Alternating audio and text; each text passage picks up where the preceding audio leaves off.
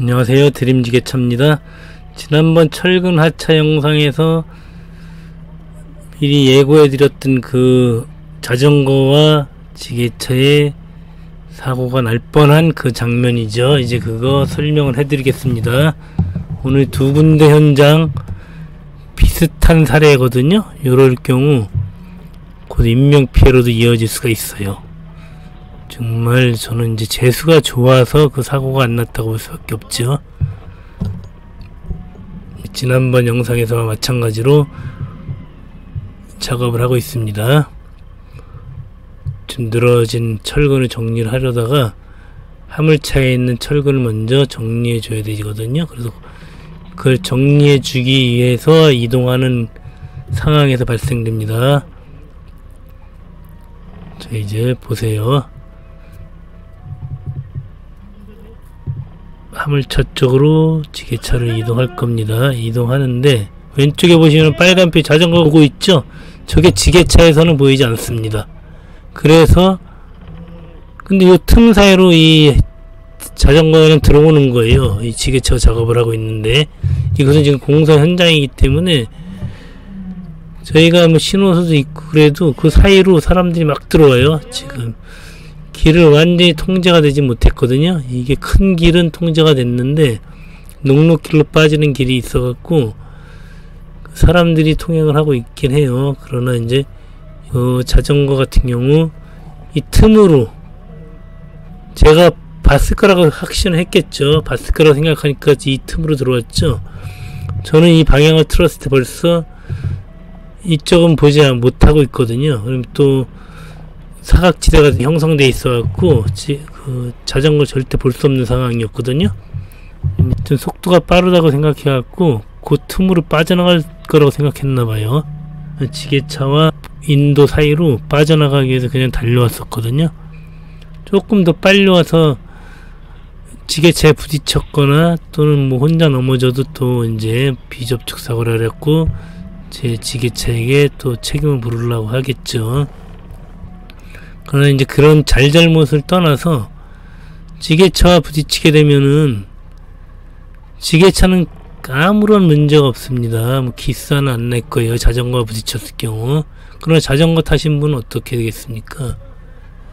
사망사고까지 이어질 수 있는 위험한 거거든요. 그래갖고 지게차뿐이 아니라 중장비가 작업하는 곳을 지나칠 때는 좀 세워서 서서 있다 지나가든지 자신이 지나간다는 거 확실하게 의사 표시라고 지나가든지 여기 신호하시는 분이 있어 소용이 없어요. 그냥 순식간에 지나가 버리거든요.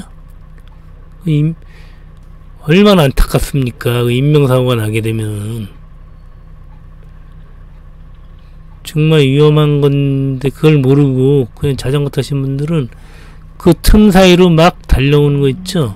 오늘 이제 요것도 그렇지만 요 다음 영상도 보시면은 이제 바로 이어질 겁니다. 그것도 역시 자전거에 의한 사고가 날 뻔한 건데요.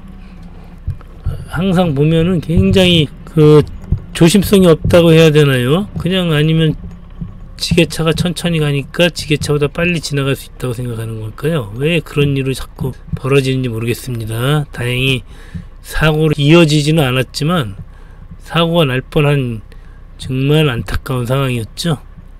정말 목숨은 소중한 거잖아요.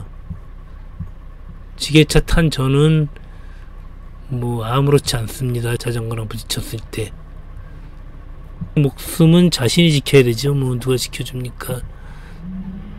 이 지게차는 지금 이 블랙박스로 보는 영상에서 이 마스트 외에 더 안 보이거든요. 일단 방향 튼 상태에서는 거기는 무방비 상태라고 보셔도 되거든요.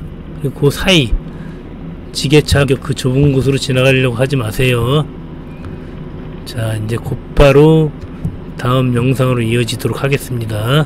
자 이제 보시면 이날 비가 엄청나게 쏟아지는 날 제가 지금 이렇게 벽돌 팔레트를 운반하고 있죠. 아무리 와이퍼로 닦아도 선명해 보이질 않아요. 이제 골목길인데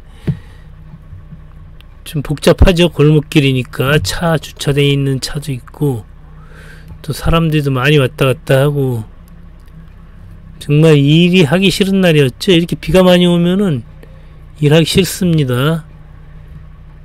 이날 이게 취소가 된 줄 알았는데 아 굳이 이 시간에 또 한 차가 도착을 한 거예요. 그럼 뭐 제가 또 안 내려줄 수는 없잖아요. 그냥 일하기 싫은데 정말 일하기 싫어요. 이렇게 비가 너무 많이 와갖고 이제 일을 하러 갔습니다. 한 다섯 파레트 여섯 파레트 정도 되는데 대여섯 파레트 되는데 비가 안 오는 날도 좁은 골목이기 때문에 항상 위험이 내포하고 있는 곳이거든요.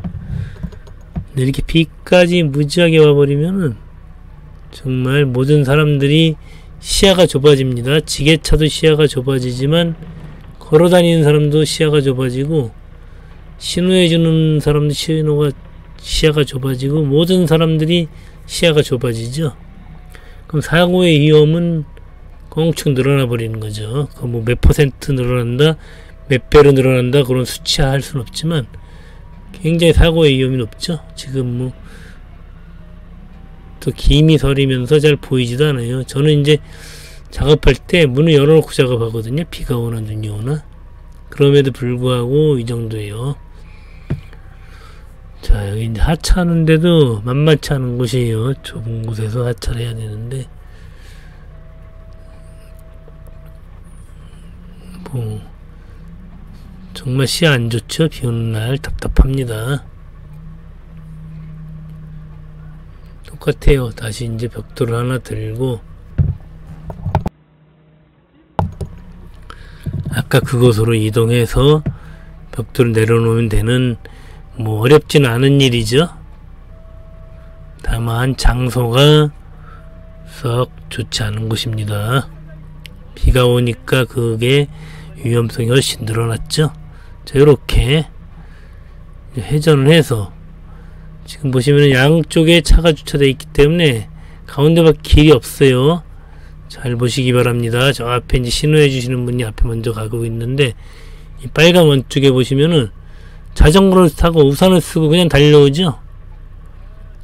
이 틈으로 빠져나갈 수 있을 거라고 생각하신 것 같아요. 아 진짜 참 뭐 화를 낼 수도 없고 뭐이 길을 제가 전세낸 것도 아니기 때문에 저 앞에서 지금 저분이 정지시켰는데도 불구하고 그냥 달려온 거예요. 요 사이로 빠져나가려고. 아, 참. 너무 위험하죠? 지금 한 번 더 말씀드리는데 이 장비들은 사각지대가 굉장히 많아요. 그래서 이 장비들이 그 보호해주고 싶어도 달려오면은 보호해드릴 수가 없잖아요. 지금 벌써 제가 진입하기 전 같았으면 제가 기다렸을 텐데 제가 벌써 진입을 한 상태인데 그 틈이 그래도 이제 자전거 하나 지나갈 틈은 있어요. 제 지게차 옆에 주차장 사이에 틈이 뭐 자전거 하나나 사람 하나 지나갈 수는 있겠지만 우산을 쓰고 거기로 달려와 버리면은 답이 없는 거죠.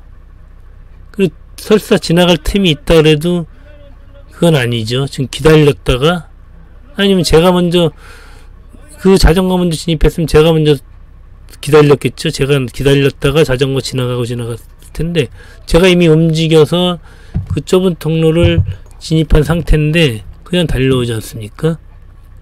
저도 보호해드리고 싶어도 보호해드릴 수가 없어요. 아 정말 안타깝죠 이럴 경우 정말 이 본인들 목숨 소중하다고 하다고 생각하시면은 이 장비 근처에는 이 도로는 그냥 공도잖아요. 여기서 작업을 안 할 수도 없고 가게가 거기 있기 때문에 정말 저도 조심해서 하지만 행인분들 또는 이제 다른 차량도 조심하시는 게 맞다고 생각합니다. 자, 안전운전 하세요. 감사합니다.